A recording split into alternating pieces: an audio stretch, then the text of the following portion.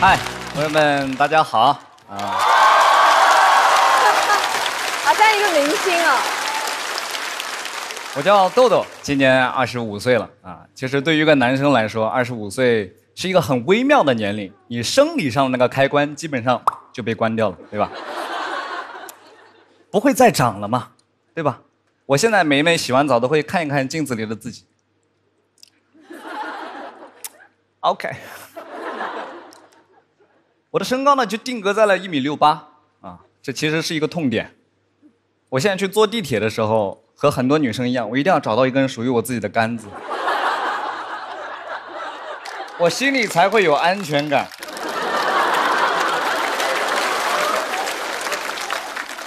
我要么扶着它，我要么靠着它，我要么抓着那个吊环，因为我一般抓不到上面那根杆子。我只能抓到那个吊环，而且吊环这一般都会有个广告，对不对？啊，我觉得这个设计还挺巧妙的。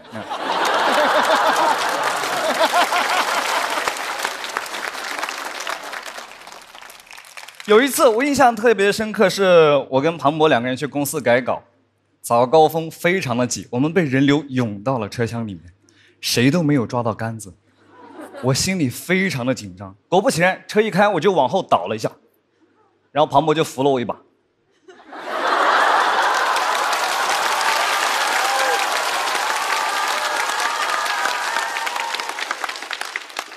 然后他对我说：“你可以抓着我的包。”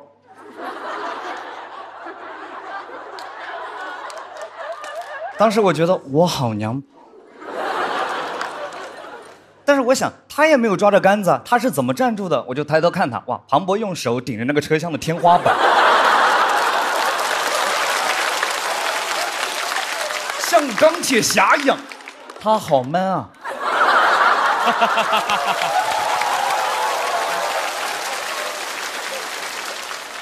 二十五岁这一年也迎来了自己人生上的一些小小的变化，我也交了自己的女朋友啊。我也发现，其实爱情好像也不全都是美好的滋味，对吧？我们也在一个磨合的时期。我的女朋友呢，她分不清东南西北。其实现在很多年轻人都分不太清，对吧？对吧？年轻人不太会用这种 old school 的辨位方法，对吧？大家都有一套属于自己的定位系统。找自己的参照物，对吧？我的女朋友就是三个参照物：全家、星巴克、地铁站。每次打电话问他你在哪啊？我在全家这旁边有个星巴克，后面就是地铁站。在上海，这三句话你说了像没说一样。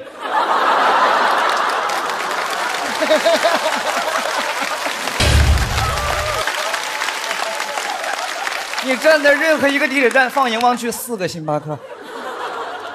我女朋友出门以后，她就不相信自己的眼睛了，她只看导航，她只看导航。我不知道大家有没有观察过一个女生看导航。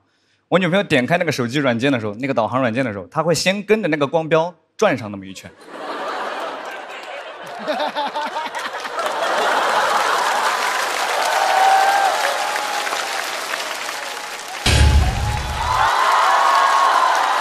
接不住了，要不就上吧。像一只进化的数码宝贝一样，他得先跟那个光标呼应上，然后他就把自己托付给那个光标了。他会把手机卡在自己的胸口，鼻尖所指的方向就是目前光标行进的方向。行吗？行。而且我们都用过导航软件，对吧？你刚点开它的时候，它的 GPS 信号不是特别的强，会有一些小小的错误。我女朋友大概走出去十米，发现自己走错方向了，她会有一个。非常迅猛的转身，那个转身你们有没有玩过那个神庙逃亡？就是那种不做任何准备，没有任何思考，那个转身快的姚明都防不住。这个梗确实有点直男。阿金卡卡。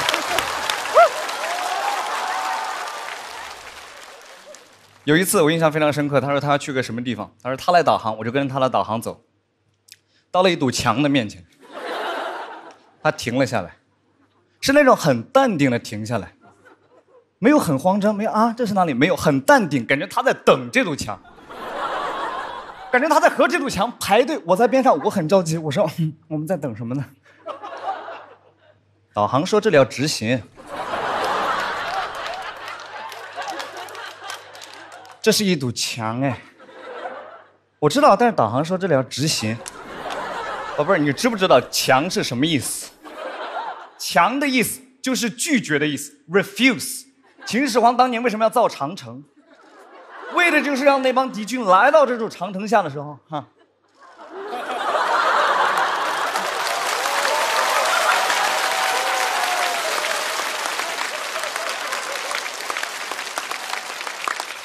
走吧，长城这怎么打？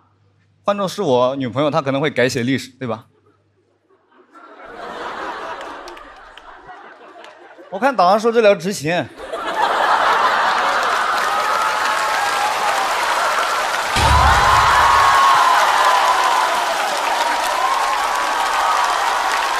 关灯了，哇，压力巨大。他要是直播四灯了，那那是为什么？二十五岁了，也迎来了自己事业的上升期啊！今年也办了自己全国的巡演，去到了很多的城市。我发现，在很多城市的地铁里都会有这样一个违禁品宣传片，就是告诉大家什么东西你不要往地铁上带。我觉得大家大概的意识里是知道我什么东西不要带到地铁上的，但是这种宣传片它往往拍的非常的奇怪，就是会有一个大哥，他拿着一箱子所有不能带的违禁品，放到那个安检仪上。然后那个安检人员小姐姐会跑出来，哈，这个啊啊，然后那个大哥啊，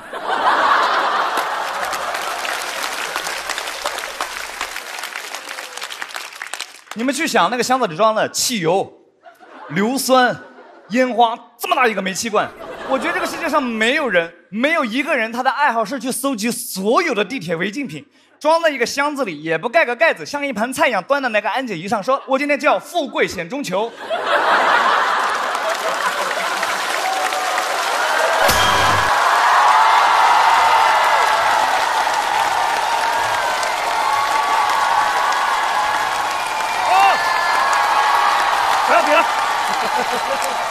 级了，结束了，我回家了，我回家了，回家了，回家。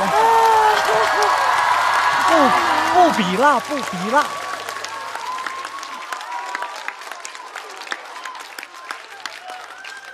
那箱子里还有一把弩，一把弩，谁要带一把弩上地铁？一把弩哎，cosplay 绝地求生吗？一把弩哎，而且你都带了一把弩了，就未必要过安检了吧？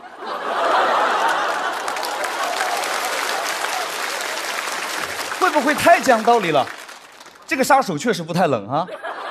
你们大概都能想象到，他收到那条任务短信的时候，心里想的是什么？今天晚上八点半，人民广场国际金融中心，把张氏集团的大公子做掉，不要留下任何的痕迹。人民广场，那还是地铁方便啊，对吧？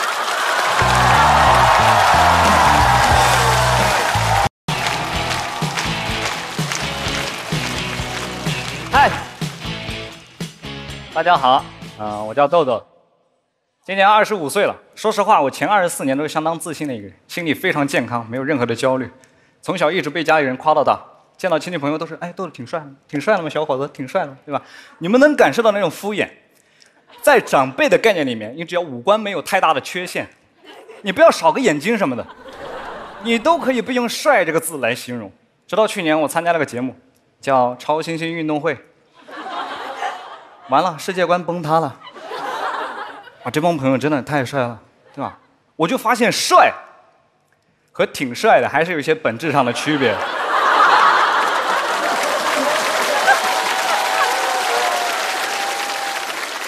这个节目他会邀请很多男团的 idol 啊、小鲜肉啊、练习生啊，我呀，我也不知道为什么混在这个里面，对吧？他们的名字你们也应该听过，像什么于晓彤、周俊伟，哇，他们那种帅，真的帅，你知道吗？打在你脸上的那种帅，吸引人目光的那种帅，就是我就是那种帅。作为一个同性，你看了之后完全不会嫉妒，你只会觉得 OK。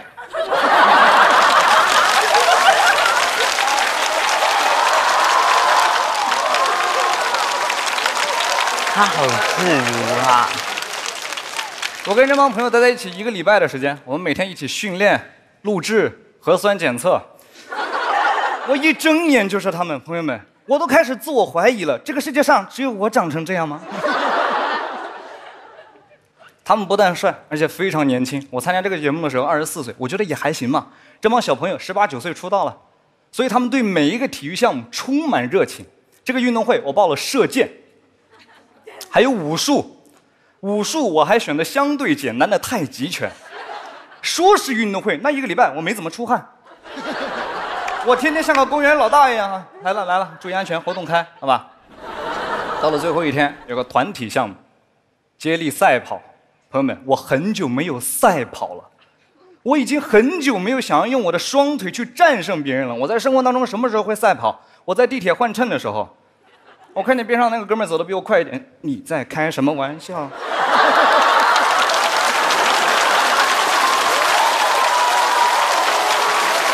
他的表演太好了。而且我走着走着，我会突然来一个这个，你们会吗？再加速一次。这什么？这生活推了你一把。Come on, be quick！我跑第一棒，发令枪一响，我感觉身后窜过去三四个黑影。我当时就觉得，哼，我是在前进吗？哼。为什么每个人离我越来越远？我不知道你们有没有这样的感觉：当某一个物体快速经过你的时候，你的身体上会有一些下意识的自然反应的。我不由自主的就发出了这样一个声音，啊！我那天像只会跑的尖叫鸡一样，啊啊！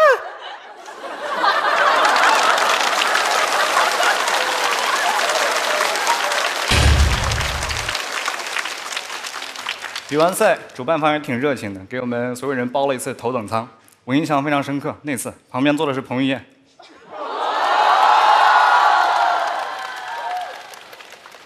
你们有跟彭于晏坐过飞机吗，朋友们？你们知道跟彭于晏坐飞机是一种什么样的感觉吗？就是你会完全忍不住想要看他。这件事情无关乎于性别，哪怕我是吴彦祖，我坐飞机的时候碰到彭于晏，我都会放下手里的行李，雷猴啊！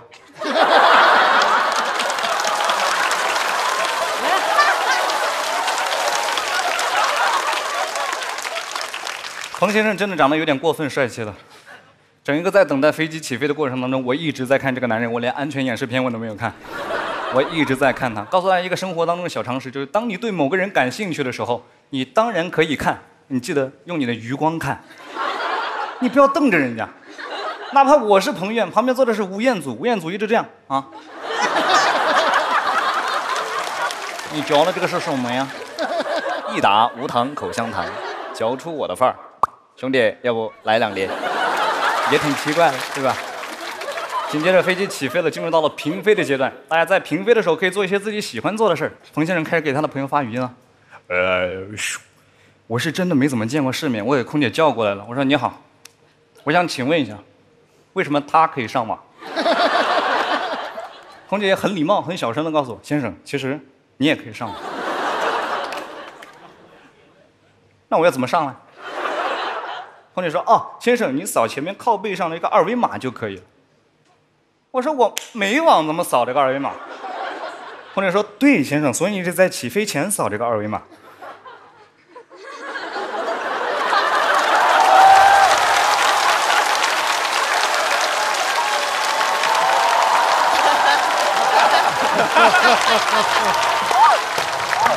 可以。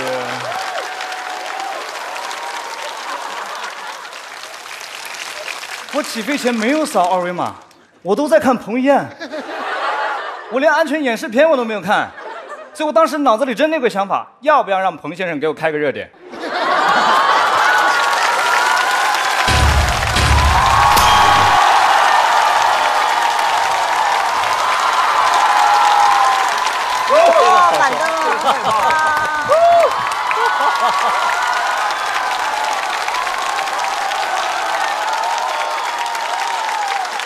但是我忍住了，朋友们，我觉得明星跟超新星之间还是应该保持一些距离的。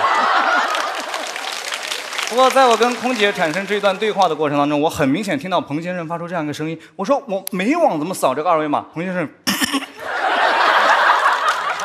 我觉得这帮明星朋友平时压力应该也挺大，应该很久没有经历咱们正常人会经历的小困难、小挫折、小尴尬了，对不对？那么今天彭先生会不会来到咱们录制的现场呢？不可能，他抢不到观演资格。他有网他也抢不到。谢谢大家，谢谢。Hey yo, what's up, ladies and gentlemen? You good?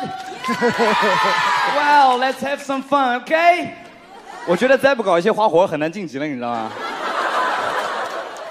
大家好，我叫豆豆啊，今年二十四岁了。我发现二十四岁的我比之前的我已经成熟很多了。我小时候是那种特别调皮的小孩经常上课说小话被老师抓出来。我爸就是我的英语老师，经常上课就是豆豆啊，不要吵了呀，来站起来。你看你一吵，我把你揪出来，你一个人耽误大家一分钟。全班一共四十五个同学，那就是四十五分钟。你一个人耽误大家一节课啊！我不知道为什么在老师的概念里面，这个动作就像一个程度副词一样，带着情绪，你发现了吗？Seriously? Really? You have to do that?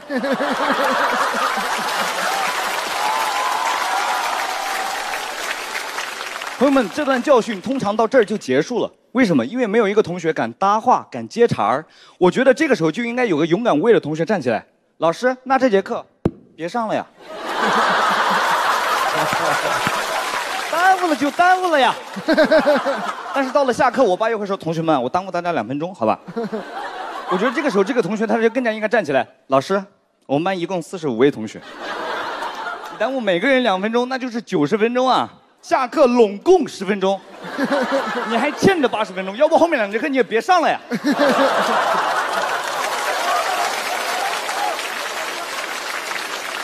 我小时候成绩特别差嘛，所以我特别害怕一件事情，我特别害怕老师考完试发卷子。哦，你们觉不觉得每一个老师考完试发卷子就像一个他们的娱乐活动一样？他们特别喜欢掌控那种紧张的氛围。哦，有没有看过咱们国内一些歌唱类的综艺节目？最后导演宣布成绩的时候就是那样，对吧？那个。欲说还休，那个抑扬顿挫，对吧？我爸也是，经常就是来到班里把卷子往桌上一放。这一次期中考试啊，你也不知道他在等什么。咱们班只有两位九十分以上，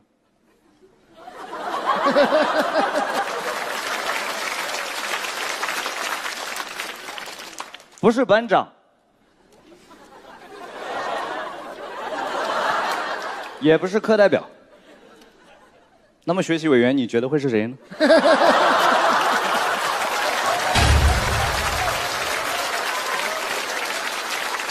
更令我难过的是，这一次考试咱们班居然有一位同学没有及格。我的天呐，这样的考试你都不及格呀？不想念别念了呀。啰里吧嗦半天，老师终于开始发卷子了。老师发卷子有一个很奇怪的习惯，他会在念名字和分数的中间有一段非常恐怖的停顿。你永远不知道有多久，一般是这样。李诞，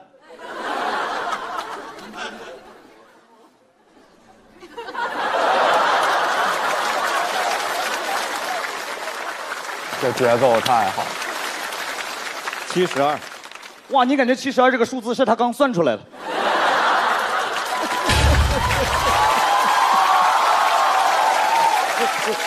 哦，这不是最恐怖的，最恐怖的一般是念到我的名字的时候，豆豆。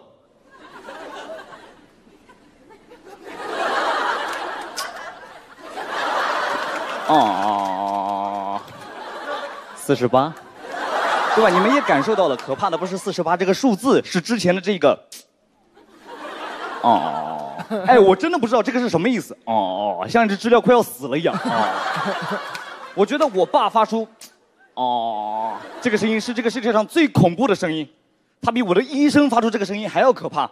医生拿到我的体检报告单，哦，他还会想办法救我。谢谢大家，谢谢。豆豆乐。Hey, what's up, ladies and gentlemen? You good? Okay, let's have some fun. 哇，大家的英文都很好的样子。大家好，我叫豆豆啊。前段时间呢，我下载了很多的 app 用来买菜啊。我发现现在很多的 app 他们的验证方式都很有趣。最常见的就是四个七扭八歪的英文字母，那个 X 长这个样子。哦，那个 H 更过分，长这个样子。那个 K 啊，长这个样子，就每一个英文字母都像在参加女团选秀一样。我就经常输错，因为我是个女团爱好者。我经常错个十几、二十次的样子，我就发现现在的算法非常的精确，就是当你错的次数足够多，系统会自动的把难度降低到跟你智商相对应的等级。我经常三个 A 一个 B 通过验证了，我就在思考一个问题，就是这样的验证方式是为了筛选掉哪些用户的？肯定不是我这种虽然愚蠢但是很有耐心的用户。难道是那些从小学习特别好、见不惯别人字写的特别差的学霸吗？但是他们又是优质用户，对吧？而且这种验证码的存在啊，会让老师特别的难堪。我小时候就经常被老师说：“豆豆，你看你这个写的啥呀？啊，字儿你都写不好，长大之后你能做什么呀？”我长大之后可以设计验证码。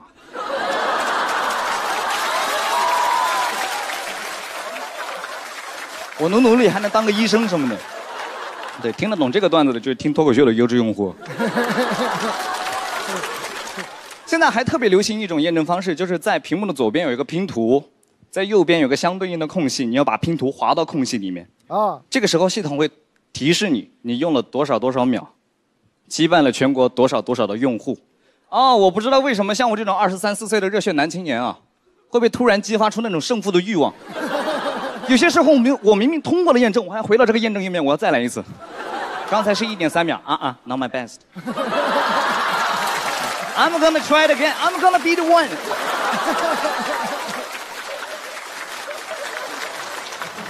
他这个太强了，他这个全靠表演顶上去。我就发现这些 app，他们在被下载下来之后，丝毫的没有想要跟自己的用户保持距离。他们每一个 app 都想要全方位的、快速的、热情的了解每一个用户的喜好。他想要获取你的定位，打开你的相册，打开你的麦克风。前段时间我下载了一个助眠的 app，这个 app 它会在你想要入眠的时候播放一些白噪声，比如说下雪的声音、婴儿喝奶的声音。好羊奶，选蓝盒。蓝河绵羊奶，全羊乳配方，好喝又营养。篝火的声音来帮助你快速的入眠。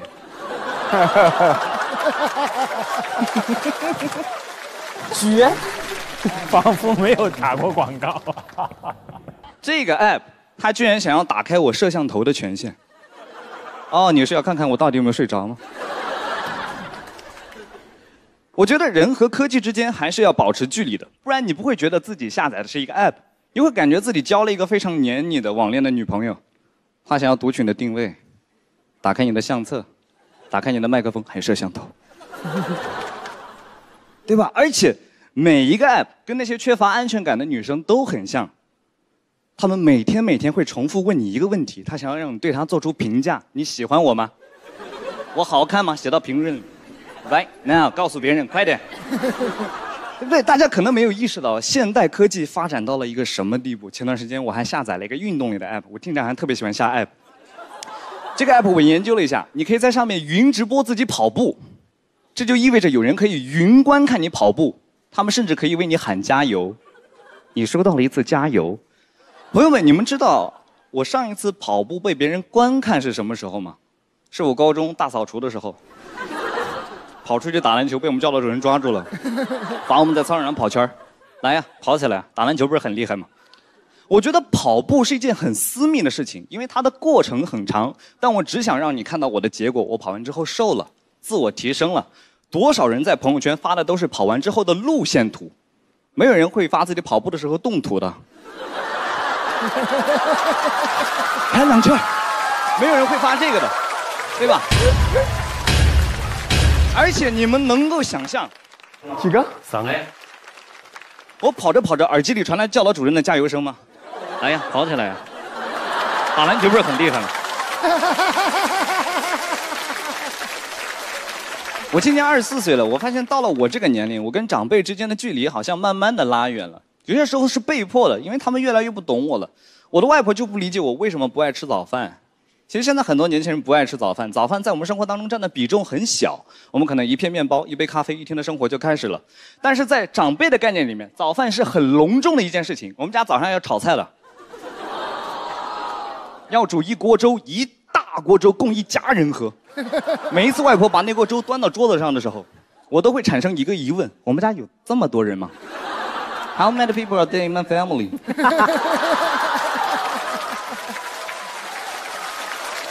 那锅粥啊，从早上六点钟开始煮，差不多到九点钟我去喝，那就不是一锅粥，那就是一锅饭，加了水的饭，湿润的饭。我们家早上喝粥用筷子的，那锅粥厚的，我把筷子插在那个粥里面，那个筷子能够站在那儿，然后像小区门口的停车杆一样缓缓滑落。我是真的喝不下去，但是我的外婆更不能理解我为什么到了半夜十二点，我喜欢看一些吃播。现场有喜欢看直播的朋友吗？有喜欢在半夜十二点看直播的朋友吗？我不知道为什么像我这种二十三四岁的热血男青年，到了半夜十二点，身体上有个开关被打开了一样。我对食物的那种渴望啊！Oh my god, I'm hungry！真的是。他的语气词全是用英语来完成。而且那些 UP 主、那些那些主播，他们吃的那些垃圾食品，好像越多我越开心。十桶泡面，二十个鸡腿，因为这种事情你平时敢想不敢做了，但是有人替你做了，你就满足了心中的那种好奇心和犯罪感，对吧？这种理念你很难传达给外婆，她也理解不了。你举不出那种特别健康的例子，没有人直播的时候喝粥的。你打开任何一个直播软件，没有一个主播会说：“各位老铁，今天咱们喝粥啊，一大锅。”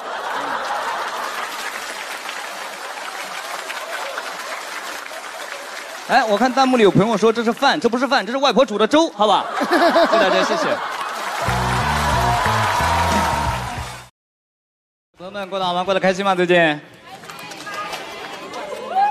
大家好，我叫豆豆啊。我最近很开心的一件事就是我改掉了一些坏习惯，我已经不在坐地铁的时候玩手机了，因为我觉得站着玩手机很累，也很伤颈椎。我现在喜欢在坐地铁的时候做一些别的事儿，看别人玩手机。有一次，一个大哥，早高峰很挤啊，在我的边上用手机看美剧，我就跟着一起看。但是他是戴着耳机看的，我听不清，观感体验很差，我就贴着他。然后这个时候谢耳朵说了一句话，挺好笑的，我就笑了出来。那大哥就回头看了我一眼，很生气的样子。我说咋了，大哥，你没有听懂吗？大哥说：“我听懂了。”我说：“那你不笑？”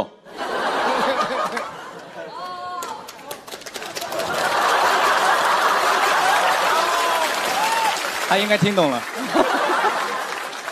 前段时间有个剧很火，叫《隐秘的角落》，所有人都在看，我也在看。但是我是那种追剧很慢的人，大家都看完了，我才看到一半左右。我就发现我身边有一些人啊，他追剧很快，他就有一种莫名其妙的优越感。有一天也是我在吃饭，拿手机看这个剧，一个同事走过来拍了拍我。哎呀，豆豆啊，你才看到这儿啊？我都看完了呀。哎，你是不是不知道最后张东升怎么样了？那我不跟你说了，你到时候说我剧透。我不知道为什么这个剧他看完的就像他拍完的一样。它只是一个时间跨度的问题，对不对？我只是完成的比较慢了一些，我迟早也是要看完的。而且我觉得这帮人他们只在追剧这一件事情上对时间特别的敏感，因为我感觉身边从来没有那些比我年长的朋友会跑过来跟我说：“豆豆啊。”你才二十四啊，我都四十八了呀！你是不是不知道我最后没有嫁出去？没有这样的人。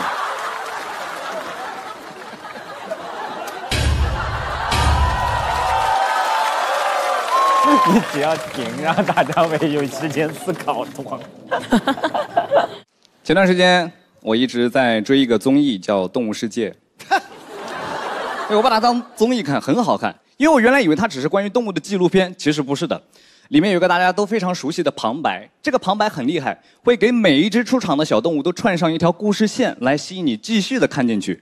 首先，他会给大家都先起一个名字，比如说，这只年仅三个月大的肯尼亚狮叫 Kevin，旁边的这一位是他的母亲詹姆斯 Linda，也是整个族群的掌门人。今天将会是 Kevin 第一次参与族群的狩猎活动，他们的目标是这一只雌性的非洲鹿 Amanda。这也将会是凯文第一次领略到非洲大草原上亘古不变的道理：优胜劣汰，弱肉强食。接下来整个四十五分钟，詹姆斯家族都在那里发呆。阿曼达就在边上吃草。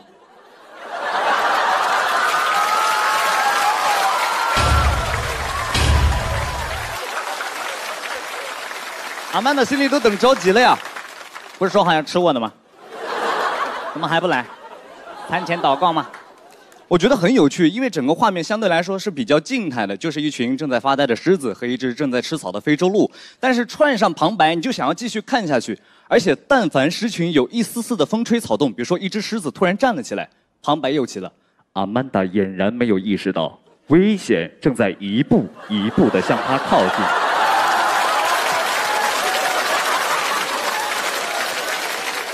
这个时候，阿曼达会来个这个。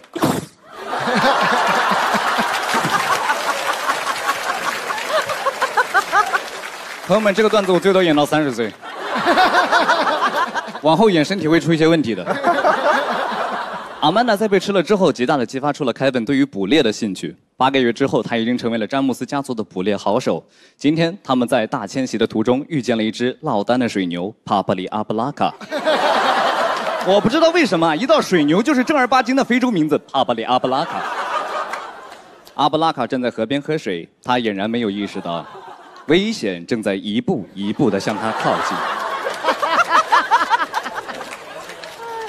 凯文从右侧方靠了过去所有的同伴都读懂了凯文那充满杀气的眼神刹那之间捕猎开始。这个时候就会有一段扣人心弦的非洲鼓乐伴随着那一段旁白继续推进着故事的进行。咚咚咚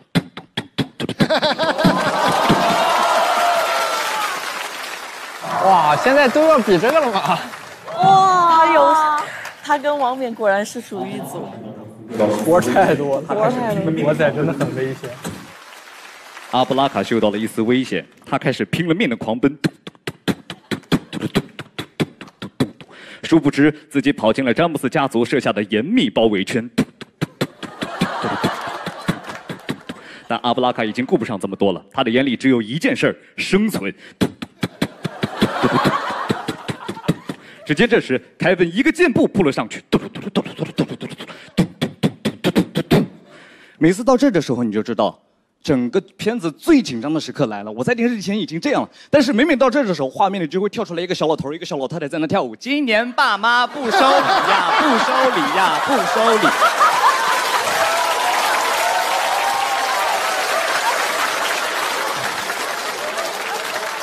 哦，这个段子我可以演到七十岁。谢谢大家，谢谢。大家好，我叫豆豆啊。我发现长大了之后的我啊，变得非常的理智和敏感。我不知道大家有没有无意间听到过别人打电话。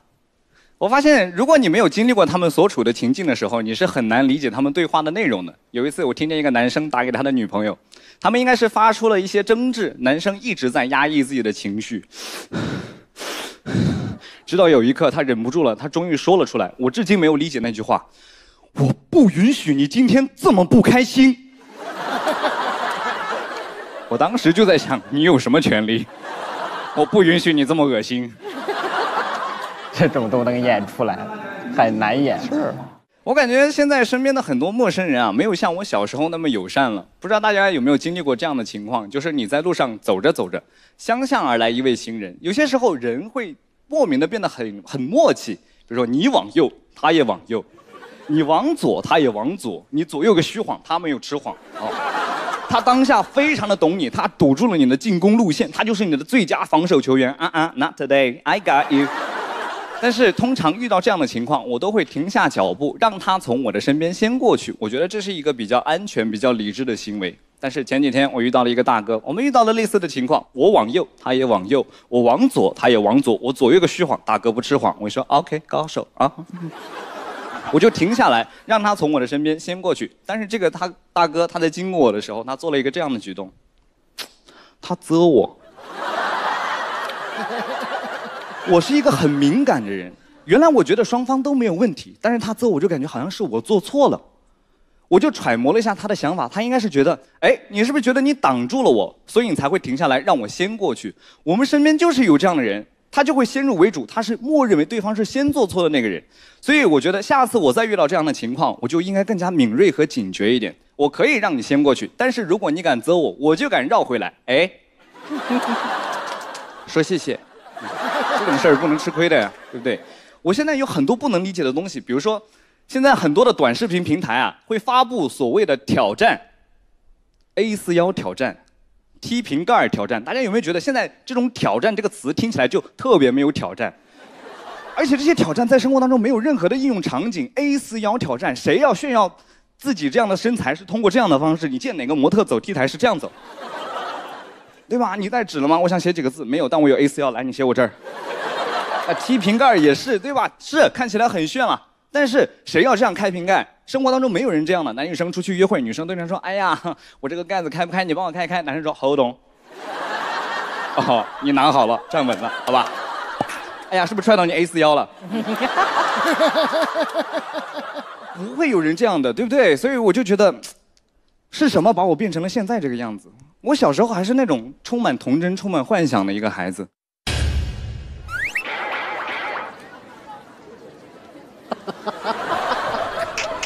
没听到梗，为什么就拍呢？啊，对，我也不知道。父母是会很理智的来教育你的。比如说，大家小时候有没有被父母问过这样的问题？你长大之后想做什么？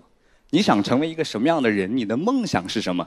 这样的问题听起来看似非常的宽泛啊，但是其实是有标准答案的。老师、医生、科学家、律师，一般只有这几个职业能够被称之为工作，其他的统称为打工。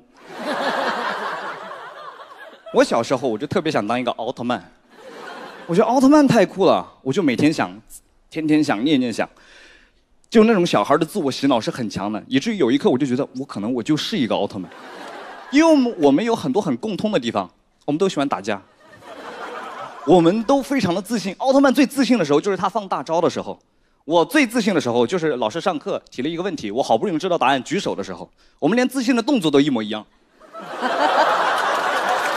所以这么重要的消息，我要告诉我身边最重要的人，我妈。我就挑了一个很重要的日子，六一儿童节，我就跟我妈说：“妈，我觉得我可能是一个奥特曼。”朋友们，假设我是一个来自影视剧里的孩子，我妈一定会半蹲下来对我说：“哦，我亲爱的小詹姆斯，是的，没错，你就是一个奥特曼，所以你长大之后会去打败怪兽，战胜邪恶，拯救人类的，对吗？哦，我亲爱的上帝呀，我可真为你感到骄傲。”对吧？这个场景你在很多的影视剧里看起来都还挺合理的，对不对？但是当时我跟我妈说：“妈，我觉得我可能是一个奥特曼。”我妈是这样回我的：“百分百还原。”早知道再生一个了。